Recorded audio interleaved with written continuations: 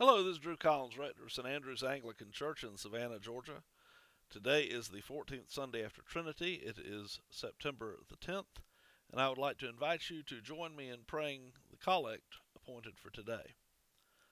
Almighty and everlasting God, give unto us the increase of faith, hope, and charity, and that we may obtain that which thou dost promise, make us to love that which thou dost command, through Jesus Christ our Lord.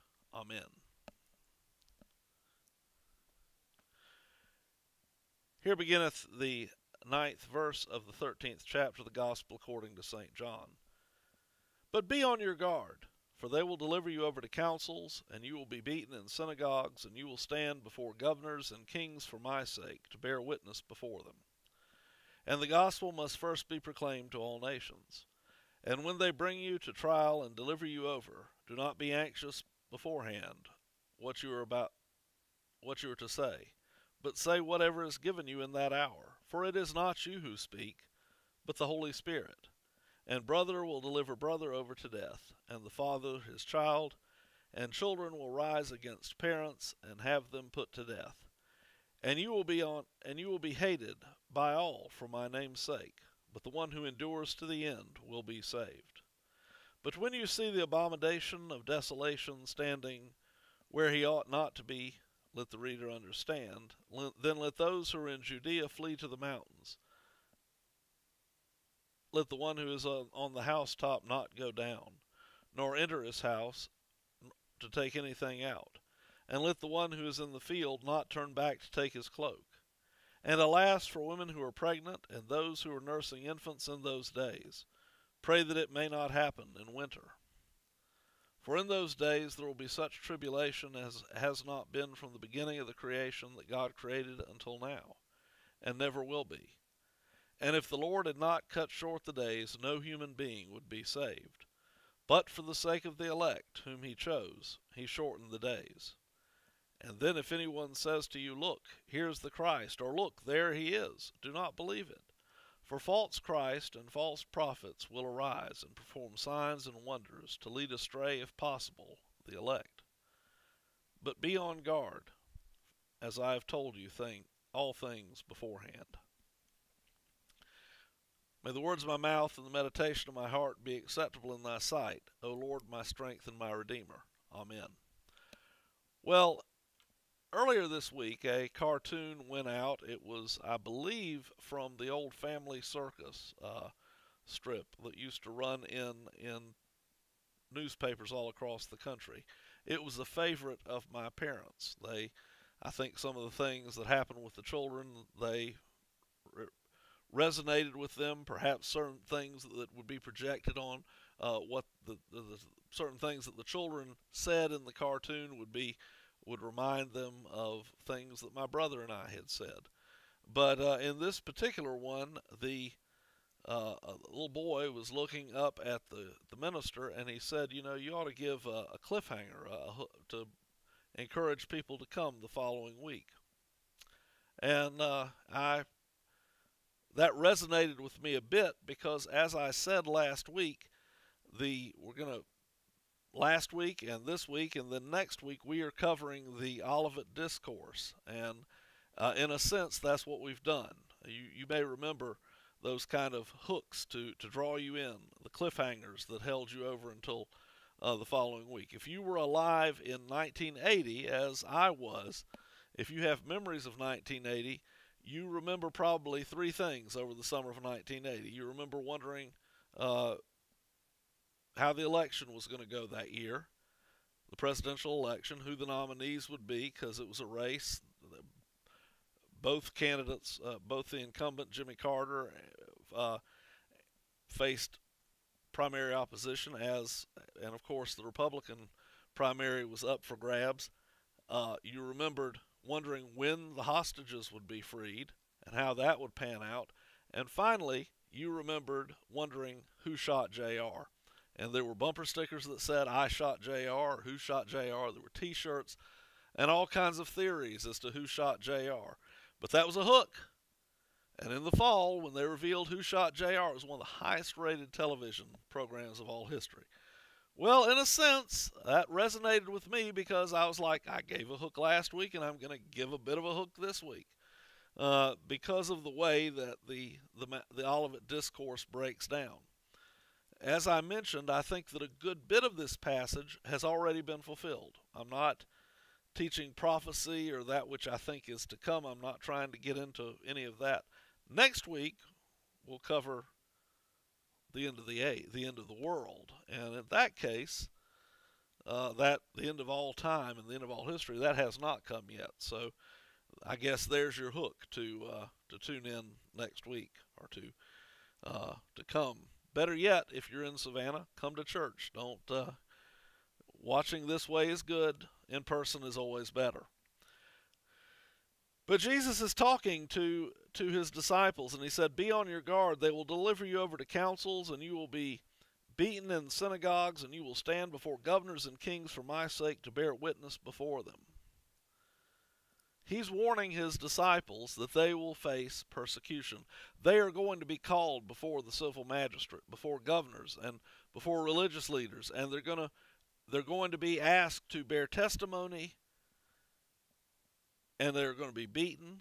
And in some cases, he doesn't say so here, but in many cases in history, they would lose their lives. Now, we read this today and we think that's rather uh, remote. But that being said, um, there are places in the world today where people face persecution. Uh, when I took the first of my doctoral ministry classes uh, up at uh, Erskine Seminary, one of the fellow students in my class was a fellow named Zishan, who is in pa- Pakistan. And in Pakistan, there has been some persecution and some unrest uh, for the Christians there from the Muslims and the Hindus in that country. And I sent a note to, to Zishan uh, late, late last night, at, wanting to make sure he's okay. And I, I trust that he is. But it's important for us to remember here in the United States, we don't face much opposition or have not yet up until this point. Uh, I go out in public fairly regularly wearing a clerical collar, something that, that marks me as a Christian. And I am, if anything, it's, uh, I may be less likely to get beaten because of it, not more. But I don't fear persecution by so identi- by identifying as a Christian. And as I said to my people who came here and saw this live earlier today, you probably faced no no danger or danger of being attacked on your way to church here today because you were coming to church. Now you may have faced traffic that raised your blood pressure, but you didn't face persecution. You didn't face uh, attack. There are places in the world where if you're going to church, you don't let people know that you're going to church because it can result in your life ending. Now, I suspect here in this country we're going to experience, uh, we're already seeing where the church does not enjoy as privileged a place as it once had. I think particularly of cases where uh, it's sad to say, but even even marriages of Christians split up.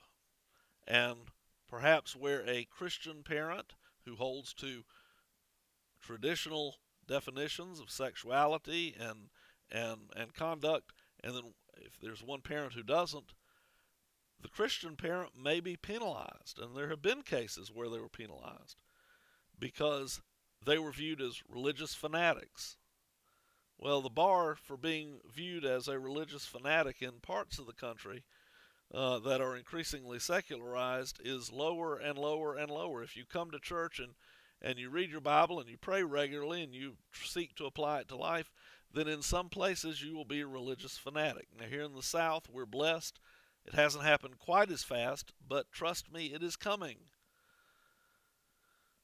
Jesus promised persecution, so we should not be dismayed when these things happen. We should be prepared to, to stand firm in the faith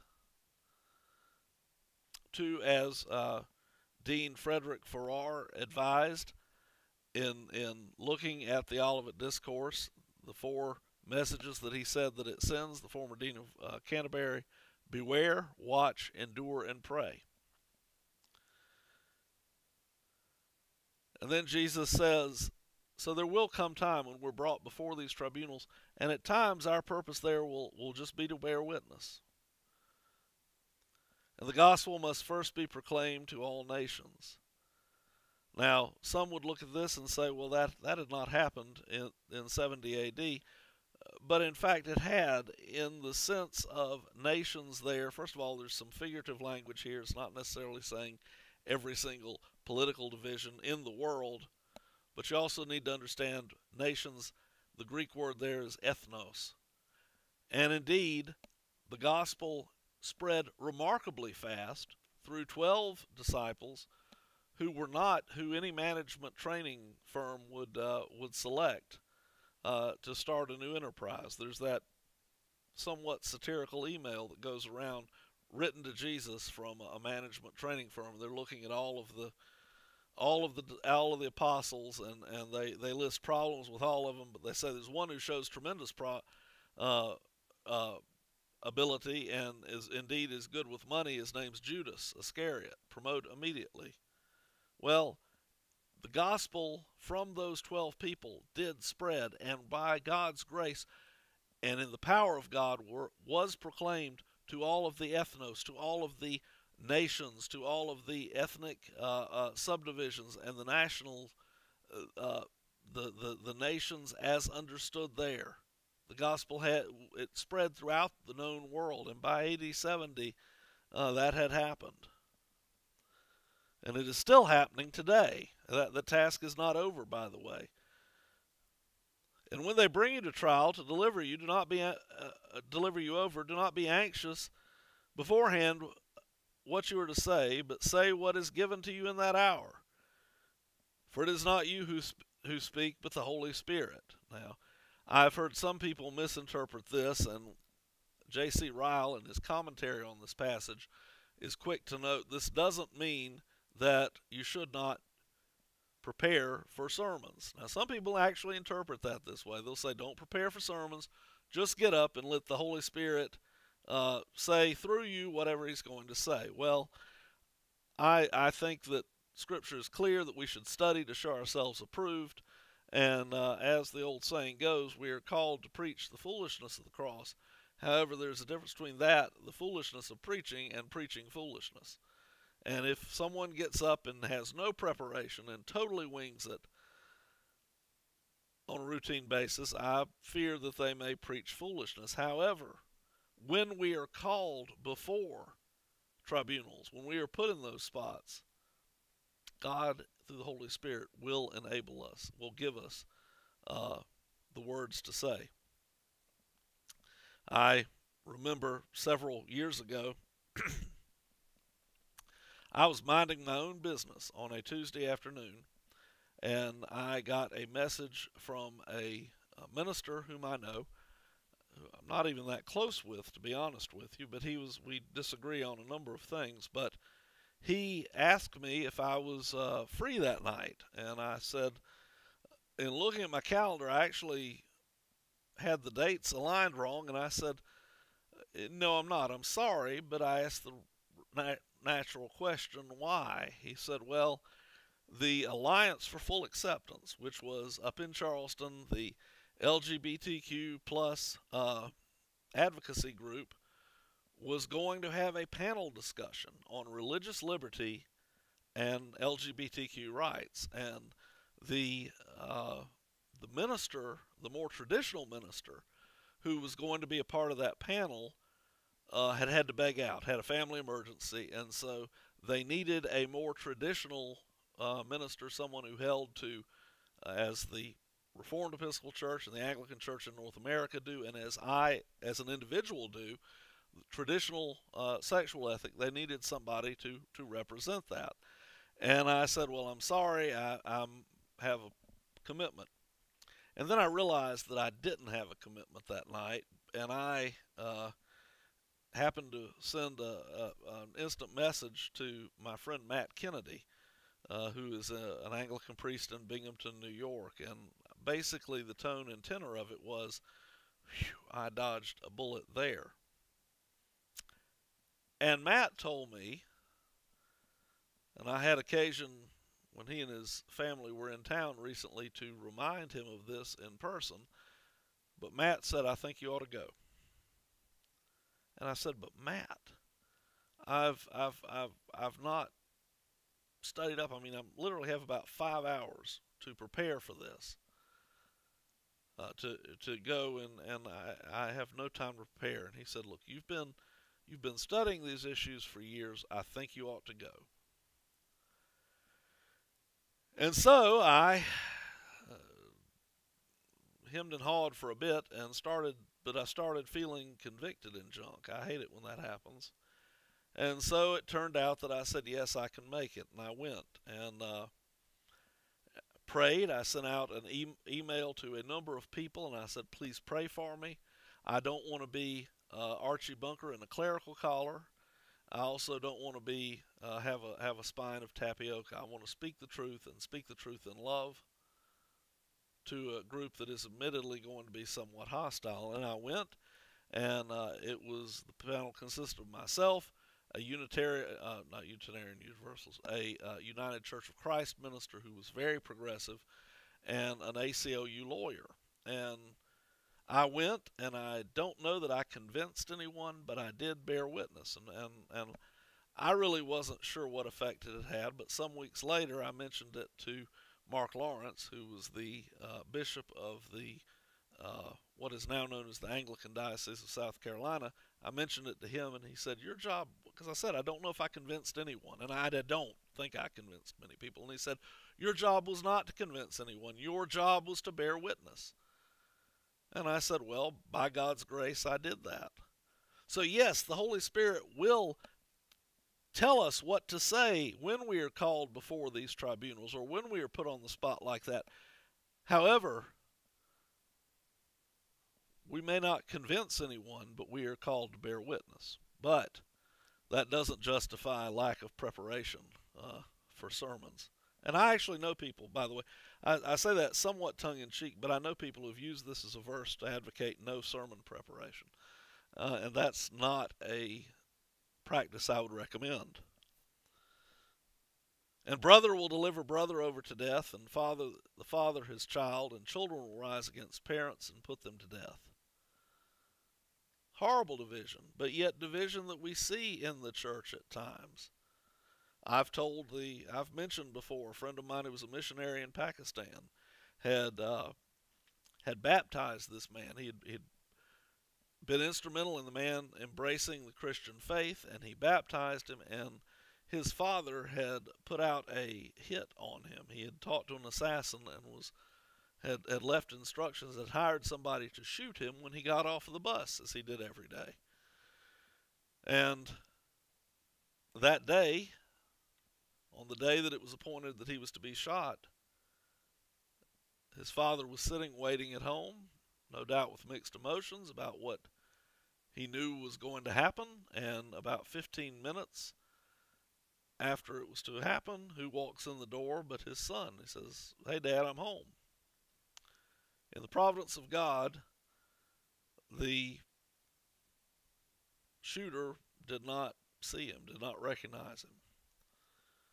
But there are cases today where to accept Christ, to believe on Christ, to confess Christ, particularly to be baptized, because that is our sacramental entrance into the kingdom of God, particularly when that happens, is to call down the wrath of even your family upon you.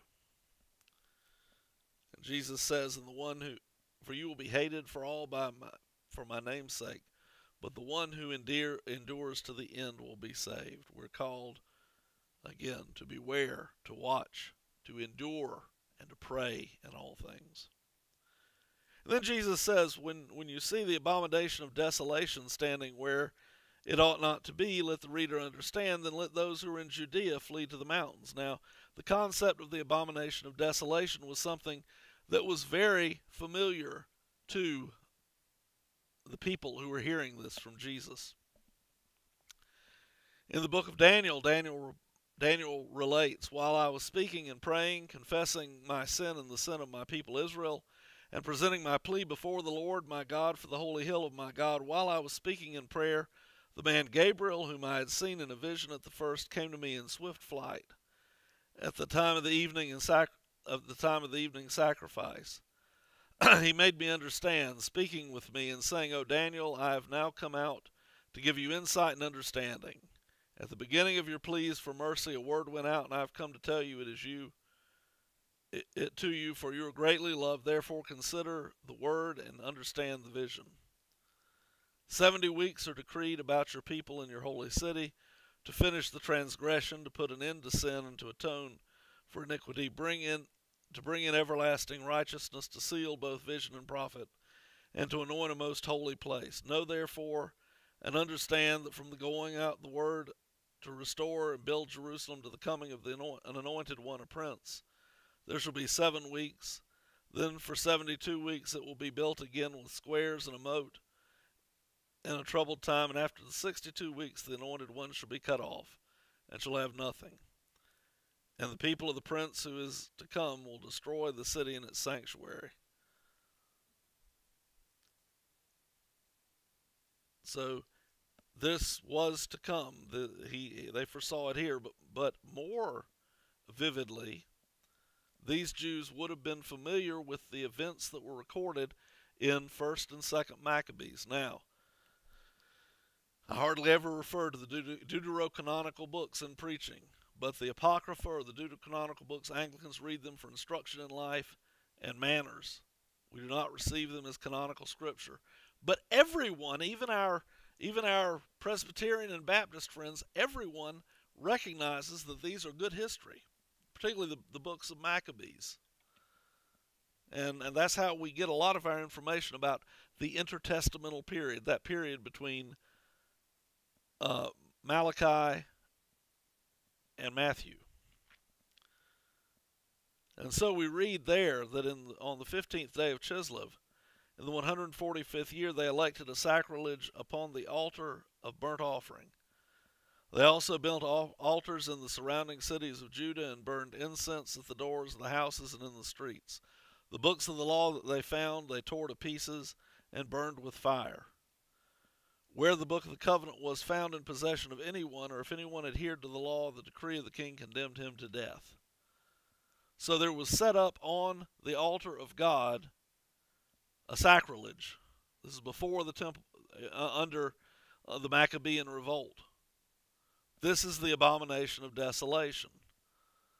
Likewise, in Second Maccabees chapter 6, we read not long after this, the king sent an Athenian senator to compel the Jews to forsake the laws of their fathers and to cease to live by the laws of God, and to pollute the temple in Jerusalem and call it the temple of Olympian Zeus, and to call the one in Gerizim the temple of Zeus, uh, the friend of strangers, as did the people who dwelt in that place.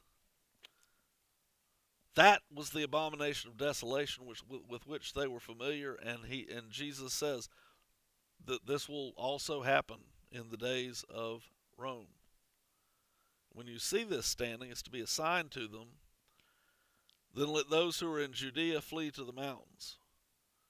Let the one who's on the housetop not go down, nor enter the house or take anything out. Now, houses in those days would have stairways that you could get down off of the roof, almost like fire escapes.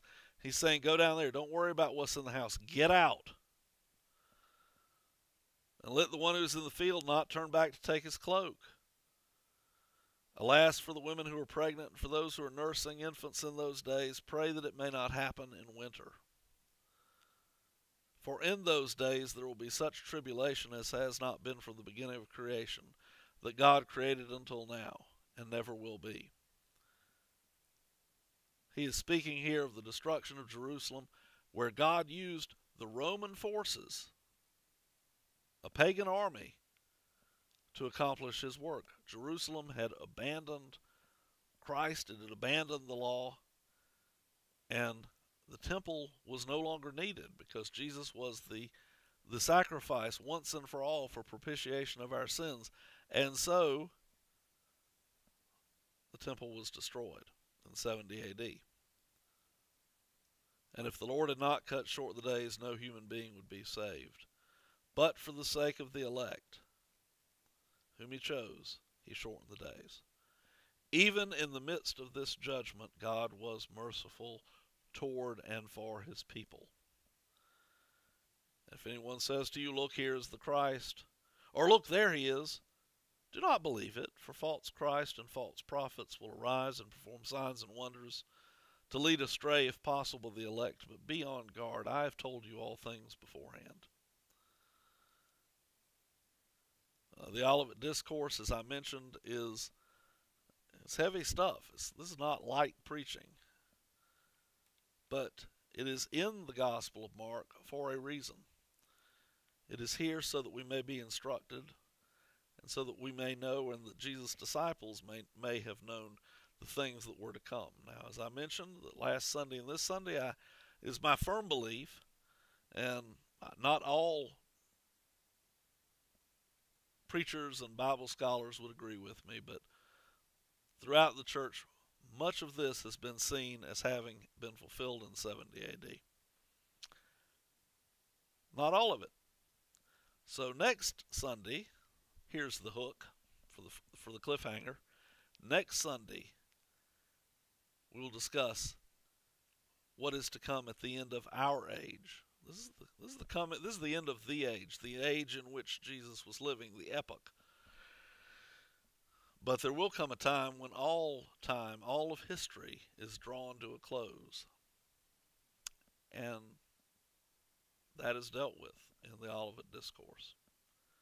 So I hope that you will be able to hear that next week as we consider that. But most of all, I hope that we are ready, that we can take comfort when we are persecuted, that we can beware, that we can watch, we can pray, and we can endure, but also that when we are called to face persecution and tribulation, we can know this that Jesus has the victory. Jesus secured the victory at the cross, and even in the midst of this, even at time when in, in places and times where it seems that there is no hope and that no good can come out of it, by God's grace and to his glory, even there God is at work. May we stand firm and endure. In the name of God the Father, God the Son, and God the Holy Ghost. Amen.